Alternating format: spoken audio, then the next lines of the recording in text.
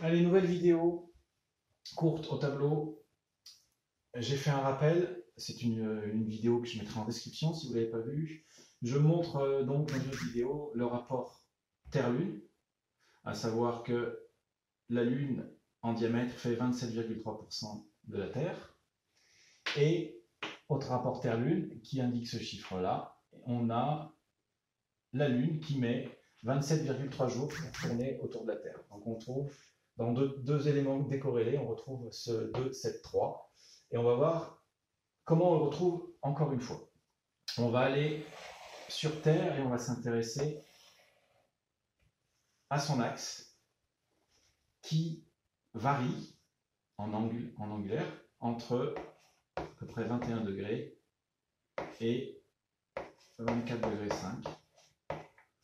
Actuellement, on a 23,4 degrés. Et là, ça doit être 21,2. Cette oscillation, elle se fait selon le deuxième cycle Milankovitch. Le premier, c'est le cycle de précession des équinoxes. C'est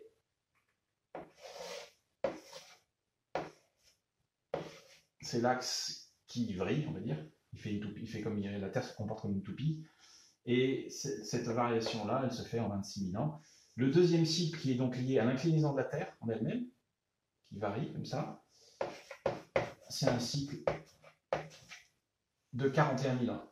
Petit moyen mémotechnique, si vous voulez vous en rappeler, en principe on connaît euh, plus le cycle de précession de 26 000 ans, vous multipliez par, par pi sur 2 et vous obtenez votre cycle, le deuxième cycle de Milankovitch. J'ai un moyen mémotechnique. Hein.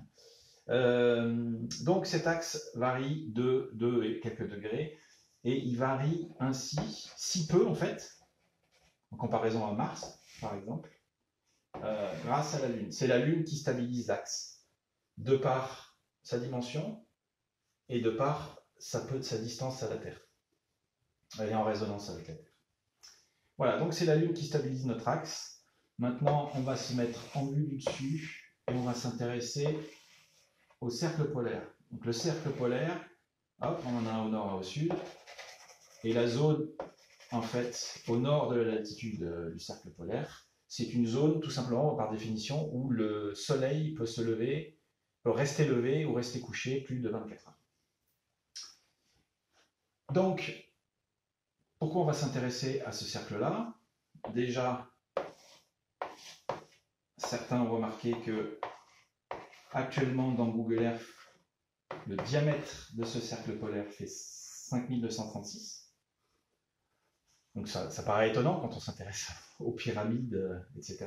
Hein, quand on a vu l'RDP, on connaît tout ça, mais c'est assez étonnant de retrouver euh, ce chiffre-là ici, mais il faut savoir que ce chiffre il varie. Moi, par calcul, j'ai déterminé qu'on était plutôt à, à, 5236 au, Moyen Âge, en l'an 1000. Bon, là, on est en 2000 et quelques. Euh, il y a 1000 ans de différence entre la valeur par calcul et la valeur sur Google Earth. Laquelle est la plus juste, je ne sais pas mais on est à 1000 ans sur un cycle de 41 000 ans, donc c'est pas, c'est pas grand chose. Donc ça, c'est assez rigolo. Mais ce qu'on va voir donc, c'est que du fait de la variation de cet axe, on a une variation du cercle polaire. Le cercle polaire, il peut être plus grand et il peut être plus petit. Et justement, ce qui est intéressant, c'est que cette variation en kilomètres, c'est 273. On retrouve le 273. C'est toujours un rapport à la, à la Lune. Voilà, la variation, la respiration du cercle polaire est de 273 km. On retrouve encore ce, nombre une autre fois. C'est assez euh, fascinant. Et puis je vais en profiter puisque on considérait que on est dans l'espace, hein, ici, et dans l'espace, la température est de moins 373 degrés centigrades. Donc ce qui est intéressant, c'est qu'on retrouve quatre fois ce, ce nombre-là. Trois fois, il y a un rapport à la Lune. Euh, c'est complètement décorrélé, normalement. Euh, mais dans ce cas-là et dans ce cas-là, on est en système métrique pour voir ces, particularités. Voilà ce que j'allais vous présenter. Euh, j'espère que ça vous aura plu. N'hésitez pas à vous abonner, la cloche, tout ça. C'est important pour le référencement, parce que j'ai du mal à j'ai du mal à voir la visibilité, ne serait-ce qu'équivalente à mon nombre d'abonnés. Je ne comprends pas.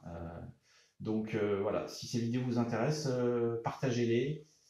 euh, activez la cloche, voire désabonnez-vous et rabonnez-vous si vous ne l'êtes pas, parce que les notifications sont réactivées ainsi.